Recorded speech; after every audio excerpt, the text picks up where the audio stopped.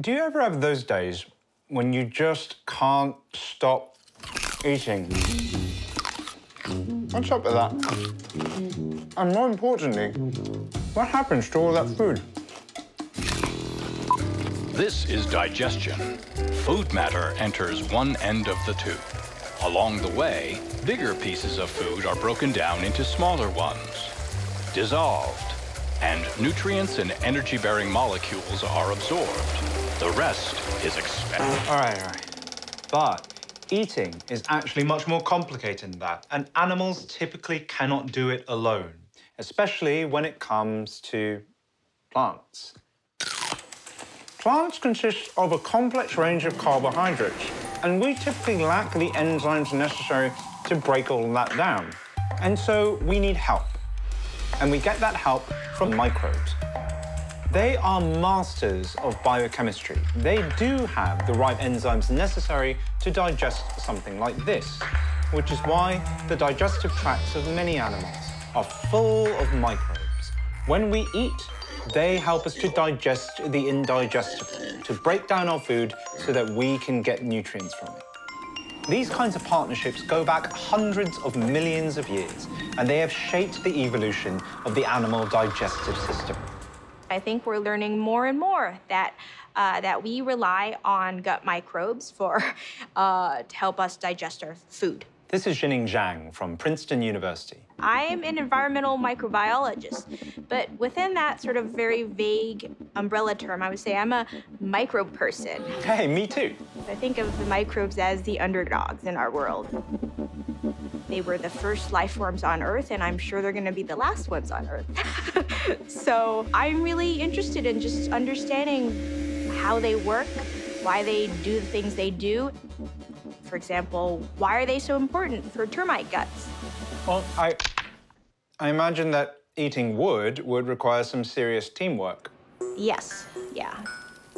Termites and their gut microbes are really two sides of the coin. The termites have their gut microbes to help them do the job of living on a and feeding on a very difficult to digest food. But the process begins with a termite and its jaws. So you start with the termite chomping on the wood and breaking into small particles. They're just basically macerating the wood into like sawdust. The bits of wood are the bright brown chunks in this microscope video of the guts of a termite. The large clear blobs are protists. They are microbes, but their complex cells are more similar to our own than to bacteria. These protists engulf the wood particles and then get to work digesting them. The wood is broken down into little molecules to access the, the yummy sugars, which uh, can be used uh, ultimately to feed the termite. Right, and everyone, the microbes and the termite itself, everyone got your meal. Everybody gets fed, everybody does does their fair uh, share of work, let's say. And so, how did that partnership evolve?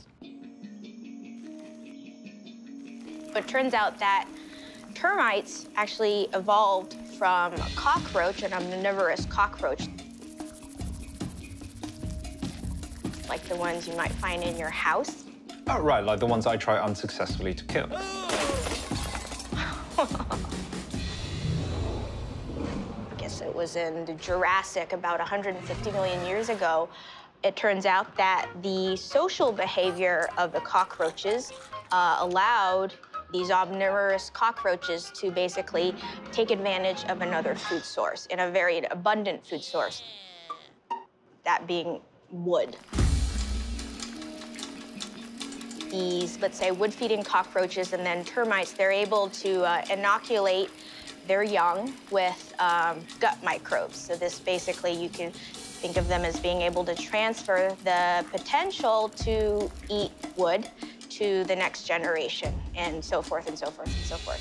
So you're saying that they're passing along the microbes that they need to digest wood through uh, social behavior? Yes, enabled by a social behavior. Yes, exactly.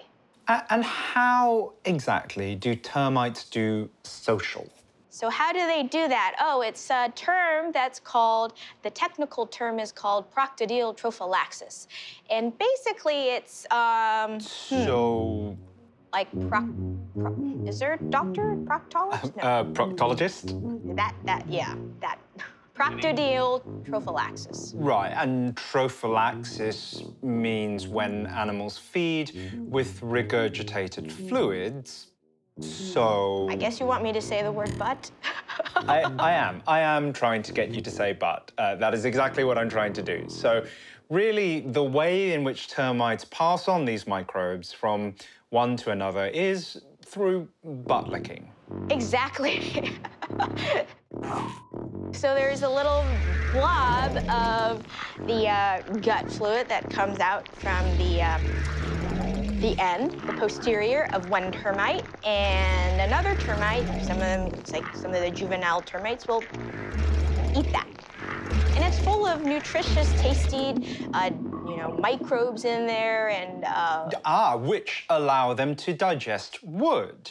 Um, so, really, this is a superpower bestowed by intergenerational butt licking. Yes, exactly. The fact is that one organism can't do everything, right? Just like one person can't do everything. At some point, you have to outsource some of the functions. Very true. Like ordering takeout.